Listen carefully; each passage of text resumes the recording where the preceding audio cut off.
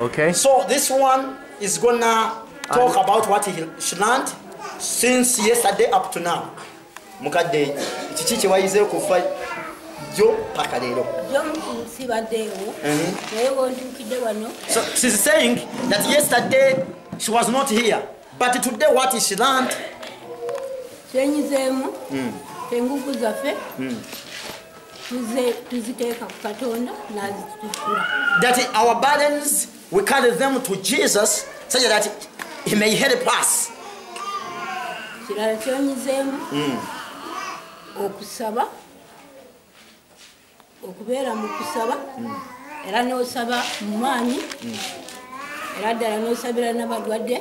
Era ne bawona. And I have learned that everyone has authority to pray for the sick and they be healed. And to, ma- to perform miracle. No one who, who, who- is alone that uh, is the one who is uh, supposed to make a miracle. That here in Uganda we have uh, uh, the saying that the pastors are the one to make a miracle. But he, he, she, she learned that everyone has authority to perform a miracle. Yeah. ate eddala n'owulira nga oyagala nnyo katonda ekyo And we can we can make this through praying. So that's what she learned. May God bless you, Mukama. Mukama kumukisa. owulira ate ng'ototya era nga ogondera katonda And being free and happy like Jesus Christ. Look it up. Yeah.